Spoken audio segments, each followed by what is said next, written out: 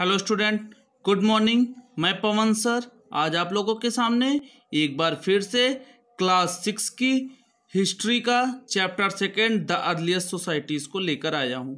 बच्चों, previous video में मैंने आपको द स्टोन एज के विषय में बताया और मैंने उसको बताया कि इतना लॉन्ग है इसका पीरियड कि इसको डिस्क्राइब करने के लिए इसको तीन पार्ट में डिवाइड किया गया।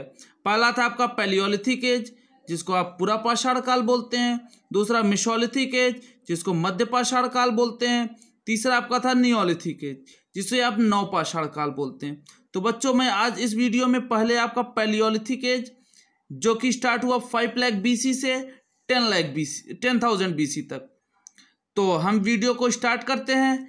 ड्यूरिंग द पैलियोलिथिक एज और early stone age early man led us life similar to animal.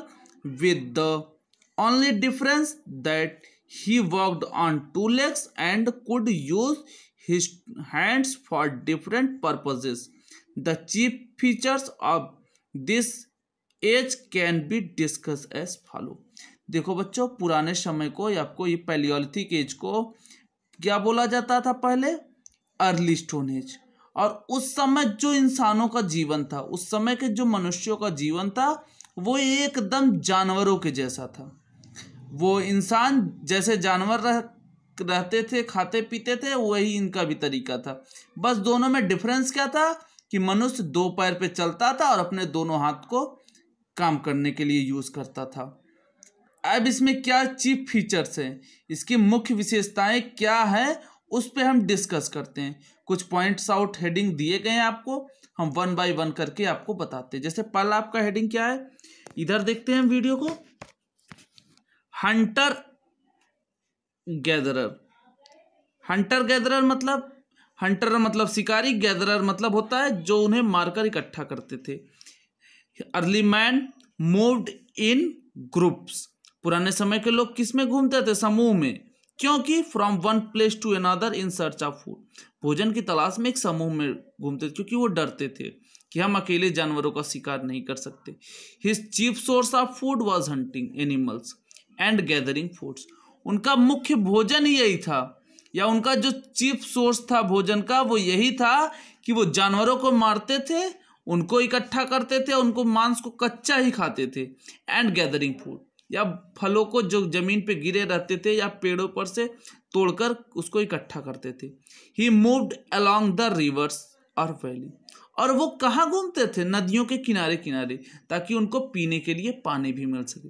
आपको पता है बच्चों, कि without water we can not live बिना पानी के हम जीवित नहीं रह सकते। इसी प्रकार उस समय के भी लोग आपके इसी में घूमते थे नदियों के किनारे।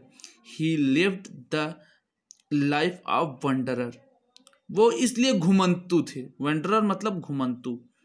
बिकॉज़ क्योंकि it gave him security against wild animal क्योंकि ये उसको क्या करती थी? सुरक्षा करती थी, जो वाइल्ड एनिमल थे। आज यहाँ रहते थे, कल वहाँ रहते थे, ताकि जानवरों के बीच में न रह पाए। A group comprise of a few man women and children और इनके समूह में कुछ मैन होते थे, कुछ वुमेन होती थी और कुछ चिल्ड्रंस होते थे। Since he had not discovered fire until them यद्यपि उस समय आग की खोज नहीं कर पाए थे ही एट हिज फ़ूड रहा।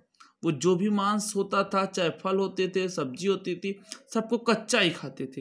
He ate whatever he could like flesh of animals and birds fruit flowers seeds roots tuber nuts it मतलब कहने का मतलब है, वो जो भी चीज़ों को पाते थे जैसे भी पाते थे, सारी चीज़ों को वो कच्चा ही खा जाते थे। इसलिए ये, क्योंकि उनको उस समय आग की ज्ञान नहीं थी। अब बच्चों, मैं आपको इसका अगला points out tools and weapon next video में बताऊँगा। तब तक के लिए आप लोग घर पर सेफ़ रहिए, सुरक्षित रहिए और जो भी चीज़ें आपको हर एक सब्जेक्ट में पढ़ाई जा रही है तो उसको आप रिवाइज करिए। अगर आपको कहीं पे कोई तकलीफ़ हो रही है तो आप कमेंट के माध्यम से बताइए, ताकि कोई भी टीचर्स आपको उन समस्याओं से दूर कर सकें। इस वीडियो में इतना ही दैट्स ऑल